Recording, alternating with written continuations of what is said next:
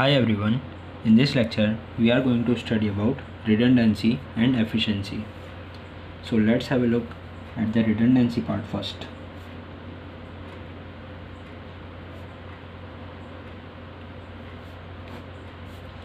So the redundancy is defined as a reduction in the information content of a message from its maximum value. So it is defined as reduction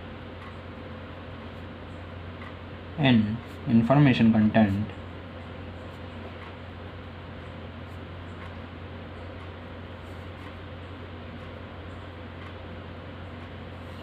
Of a message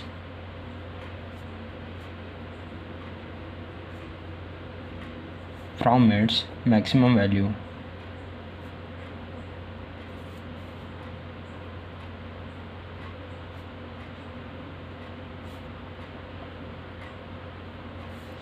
Now, if we talk about the formula for the calculation of redundancy, then the redundancy is represented by this symbol gamma and it is equals to 1 minus neta, where this gamma symbol represents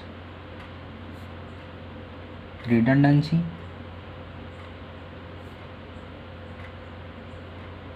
And this symbol neta here represents the maximum efficiency.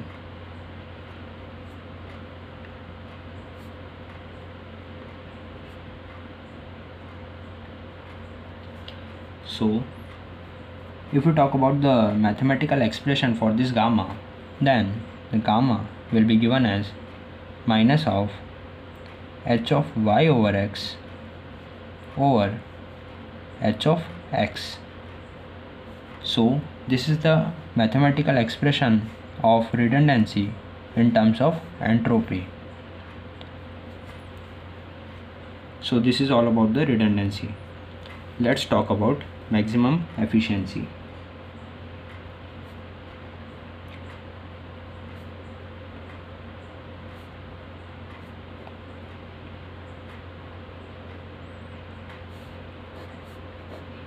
So what is maximum efficiency? A maximum efficiency is defined as the ratio of entropy to the average length per unit code. So it is defined as a ratio of entropy to the average length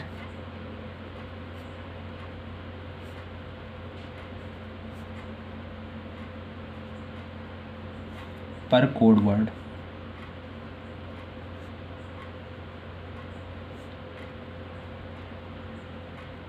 So this is the definition for maximum efficiency. Let's talk about the maximum efficiency in the mathematical expression terms so it is given as h of x over L bar. So here this h of x represents the entropy that we discussed. So it shows the entropy or the average information we can say. Also if we talk about this L bar then here this L bar is nothing but summation i ranges from 1 to m p of xi into ni. So this is the formula for the calculation of this L bar and this is the mathematical expression of maximum efficiency. So this is the basic introduction about the redundancy and the maximum efficiency. If you like my content then do subscribe my channel and please hit the like button. Thank you.